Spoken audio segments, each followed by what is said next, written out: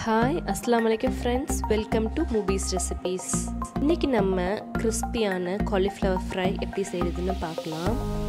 அதுக்கு நான் எப்போதும் காலிஃப்ளவர் க்ளீன் பண்ணுறதுக்கு நம்ம சுடு தண்ணியில் உப்பு போட்டு மஞ்சத்தூள் போட்டு க்ளீன் பண்ணுவோம் இல்லையா? அதே ஃபார்மேட்டில் க்ளீன் பண்ணி எடுத்துக்கோங்க காலிஃப்ளவரை இந்த எடுத்த இந்த காலிஃப்ளவரில் கால் கால் கப் வந்து கடலை மாவு ஆட் பண்ணிக்கிறேன்.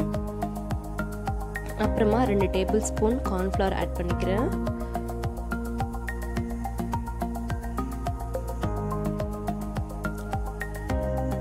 ஒரு tablespoon chilli powder add பண்ணிக்கோங்க.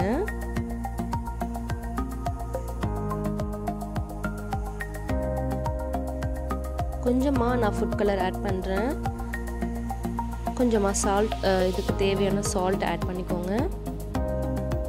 அப்புறமா இஞ்சி பூண்டு பேஸ்ட்டு ஒரு டேபிள் ஸ்பூன் மாதிரி ஆட் பண்ணிக்கோங்க.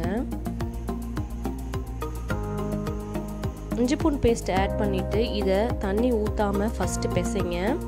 தண்ணி ஊற்றாமல் நல்லா வந்துட்டு இந்த பிசையும் போது இந்த மாவு வந்து காலிஃப்ளவர் ஃபுல்லாக எல்லா இடத்துலையும் கோட் ஆகிற மாதிரி நீங்கள் வந்து நல்லா பண்ணுங்க கோட் பண்ணுங்கள் அப்புறமா கோட் ஆனதுக்கு அப்புறமா கொஞ்சமாக தண்ணி கையால் லைட்டாக இப்படி தொளிச்சா போதும். தண்ணி ரொம்ப ஊற்றக்கூடாது ஊற்றுனீங்கன்னா காலிஃப்ளவரில் வந்து மாவு வந்து ஒட்டி பிடிக்காது. அதனால லைட்டாக தொளிச்சா மட்டும் போதும்.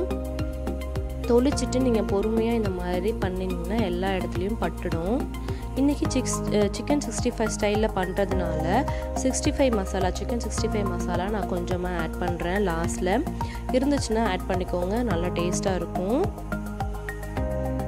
ஆட் பண்ணிவிட்டு நல்லா மிக்ஸ் பண்ணி விட்டுருங்க. இதை ஒரு ஃபிஃப்டீன் மினிட்ஸ் நல்லா ஊற வச்சுருங்க. நல்லா அப்போ தான் மாவு ஒட்டி பிடிக்கும்.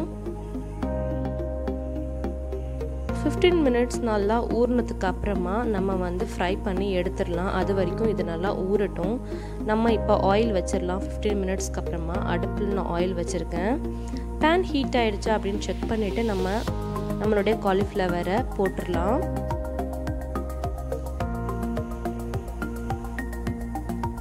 ஆயில் நல்லா ஹீட்டாகவே இருக்குது அதனால் நம்ம எல்லா காலிஃப்ளவர்லேயும் போட்டுடலாம் உள்ள.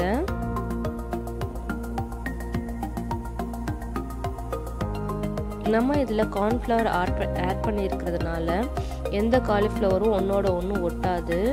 நல்லா தனித்தனியாக வந்துடும் நீங்கள் பக்கத்தில் நெருக்கி நெருக்கி போட்டாலும் ஒன்றும் பிரச்சனை இல்லை. ஒட்டாமல் நமக்கு கிடைக்கும்.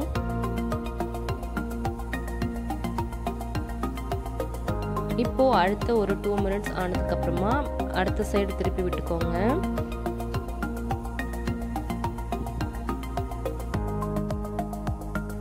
நல்லா ஃப்ரை ஆனதுக்கப்புறமா எண்ணெய் நல்லா பபுள்ஸ்லாம் அடங்கினதுக்கப்புறமா நம்மளுடைய காலிஃப்ளவரை வெளியே எடுத்துடலாம்.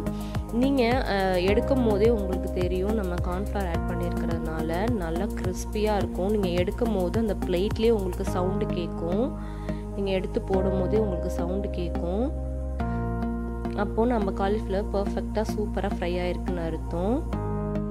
கண்டிப்பாக வீட்டில் எல்லாரும் செஞ்சு பாருங்கள்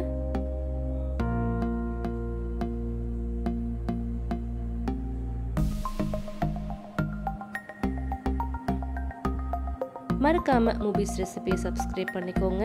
பக்கத்தில் இருக்கக்கூடிய நோட்டிஃபிகேஷன் பெல்லையும் ப்ரெஸ் பண்ணிக்கோங்க. ஸோ தட் நெக்ஸ்ட் டைம் நான் போடுற வீடியோ உங்களுக்கு ஈஸியாக அப்டேட் ஆகும். தேங்க்யூ அஸ்லாம் வலைக்கம்